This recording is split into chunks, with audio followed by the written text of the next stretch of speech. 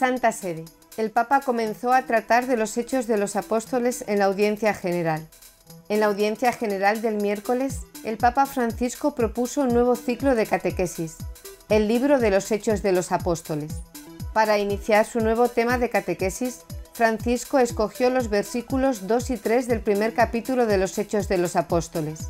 Se mostró a ellos vivo y les ordenó esperar el cumplimiento de la promesa del Padre.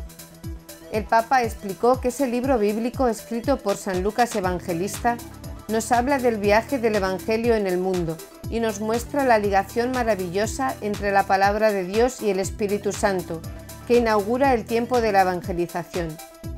Los protagonistas de los Hechos de los Apóstoles son una pareja viva y eficaz, la palabra y el Espíritu.